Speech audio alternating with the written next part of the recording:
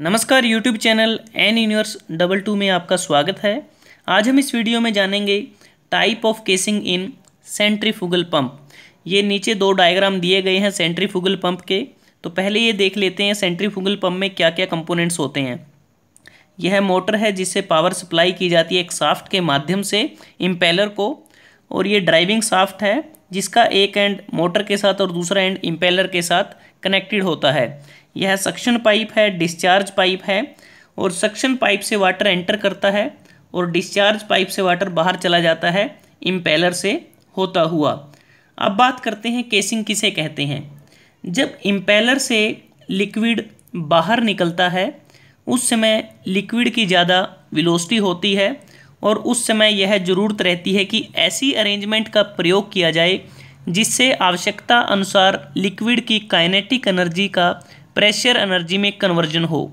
लेकिन यह सब पंप के डिस्चार्ज एंड से पहले हो जाए।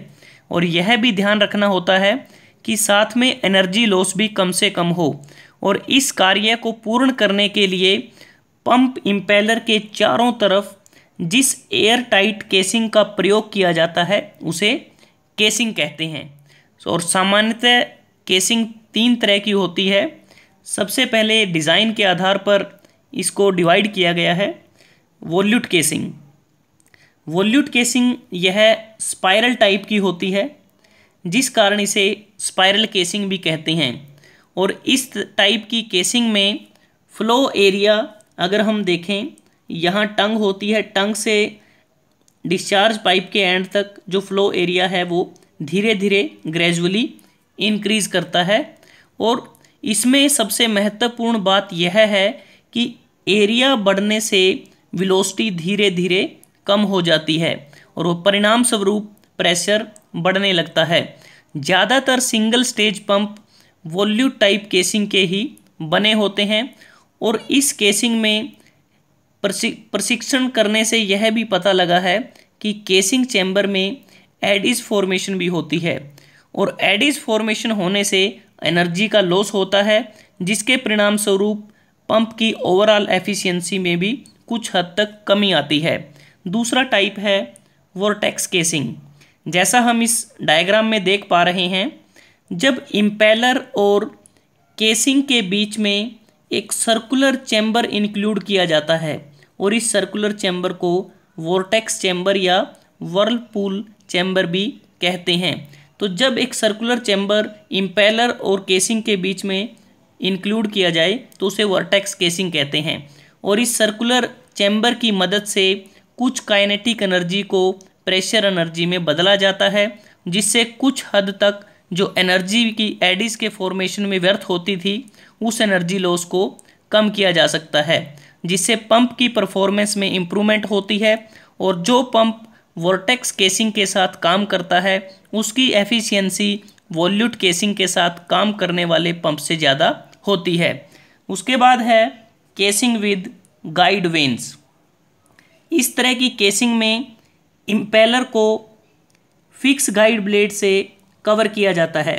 और ये जो गाइड ब्लेड्स हैं, एक रिंग पर सीरीज़ में लगी होती हैं और इस पूरी अरेंजमेंट को जो इम्पेलर से बाहर है, उसको डिफ्यूज़र कहते हैं।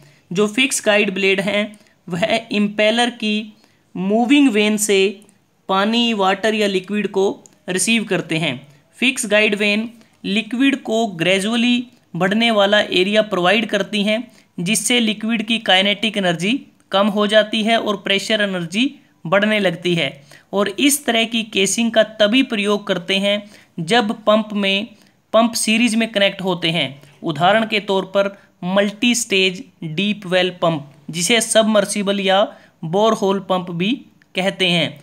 और जो पंप गाइड ब्लेड वाली केसिंग का प्रयोग करते हैं, उसकी एफिशिएंसी मैक्सिमम होती है। लेकिन जब इन्हें अलग अलग परिस्थितियों में प्रयोग किया जाए, उस स्थिति में इनका कार्य संतोषजनक नहीं रहता मतलब कि सेटिस्फैक्ट्री नहीं रहता।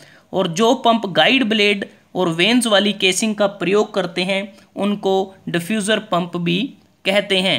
और केसिंग विद गाइड ब्लेड्स वाली जो केसिंग होती है, वह वॉल्यूट केसिंग से काफ़ी ज़्यादा महँगी भी होती है। दोस्तों, आज हमने इस वीडियो में डिस्कस किया अलग अलग तरह की केसिंग जो सेंट्रीफुगल पंप में प्रयोग की जाती हैं। अगर आपको यह वीडियो अच्छा लगा, आप इसको लाइक कर सकते हैं शेयर कर सकते हैं अपने दोस्तों के साथ स्टूडेंट्स के साथ और एन यूनिवर्स डबल टू को सब्सक्राइब करना ना भूलें। जल्दी हाजिर होते हैं एक नए वीडियो के साथ। तब तक के लिए धन्यवाद। आपका दिन शुभ रहे।